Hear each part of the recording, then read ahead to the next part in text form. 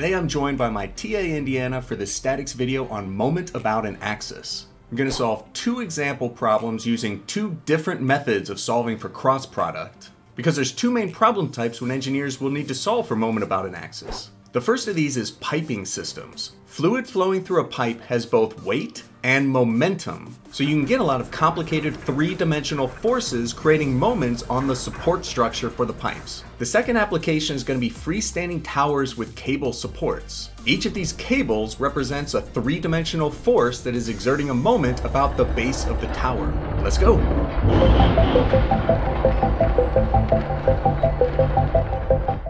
Two-dimensional moments are so much easier. You can usually just do force times distance when your force is perpendicular to your position vector. But in 3D space, not only is the force usually not perpendicular, you usually don't even know what angle your vector is at. So the default cross product equation you're probably familiar with is AB sine theta. Without that angle theta, we have to look to other methods. But before showing you either of the methods,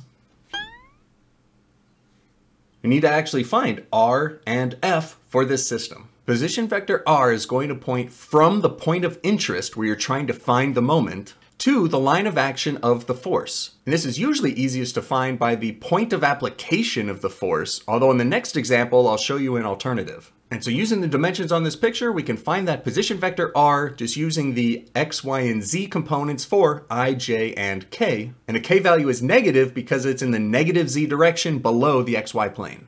Next, we'll find the force vector F using the provided coordinate direction angles. If you need a review on converting a three-dimensional vector when you're given coordinate direction angles into Cartesian form, then I've got another video about that. You can click the link up here and that'll take you to it. So now I've got the two pieces, the position vector and force vector, both in Cartesian form. Now we do cross product.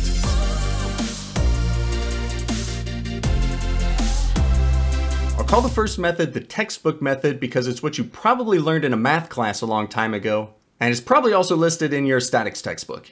This method is split into three steps, one for i, one for j, one for k, and you convert your 3 by 3 matrix into a smaller 2 by 2 matrix for each of those three directions, and just calculate the determinant of each of those remaining 2 by 2 matrices. If you draw this fish shape, then you start your line from the top left and go down to the bottom right, that part is added, curve around upwards, and then from top right to bottom left is going to be subtracted. But this fish in the middle is the reason why I do not like this method for cross product and I'm going to recommend instead the one that I'm going to be doing next. And that's because the signs for the middle one are backwards. The top left to bottom right term is not like a regular determinant, it's actually the subtracted one and the upper right bottom left is added. And a little bit of calculator work gets us to a final answer.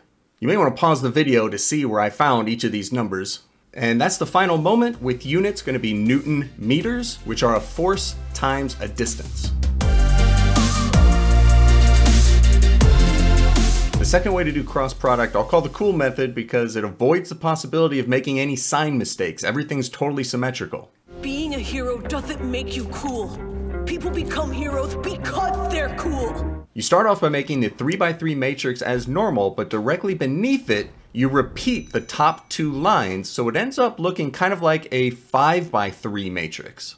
You then draw three diagonal lines, and all of these lines will be added terms, and then these three diagonal lines will all be subtracted terms. So I wrote out the term here in two rows just to make it easier to see that the first three terms along the green diagonals are all added, and the second three terms along the red diagonals are all subtracted. Then I grouped the two rows together by i, j, and k terms, and written down here at the bottom of the screen, you can see you end up with the exact same answer as using the Lane textbook method.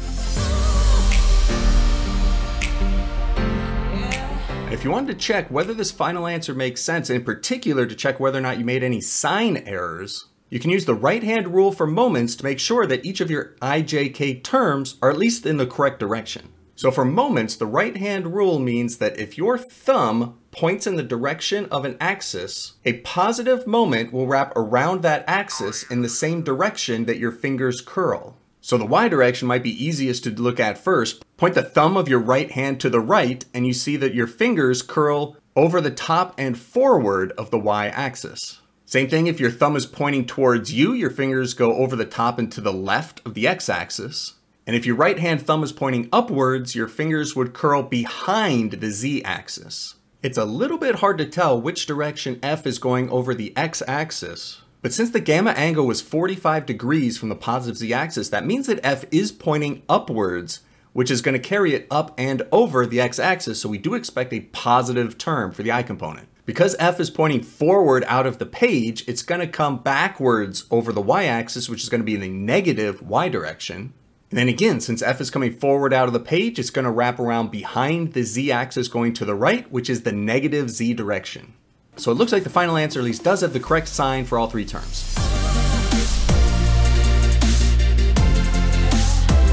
For problem two, I'm going to do this with just a cool method cross product. But for finding the position vector, I'm going to show you that there's actually two different position vectors you can use, and they're both going to give you the same answer. The position vector you choose can be anywhere along the line of action of the force. You can use either RA, which goes from point O to A, which is where the force is applied, or RB, which is still on the line of action of the force from the origin to point B. And these are both going to give the same answer. But before doing the cross product, we are going to have to use the position vector from A to B in order to convert f into Cartesian form. And if you need a refresher on position vectors and unit vectors, this video up here, I've got a video on that too. We'll set up the f equals fu equation by subtracting the position of b minus the position of a, that is the end position of the vector minus the initial position. So next I'll use the cool method to set up the cross product. I'll do both RA cross f and RB cross f.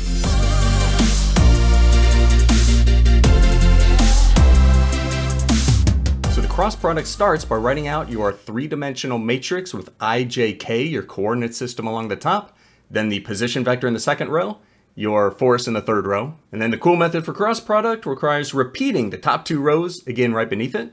Draw three diagonal lines, these terms will all be added together, and then three more diagonal lines, and these terms will all be subtracted.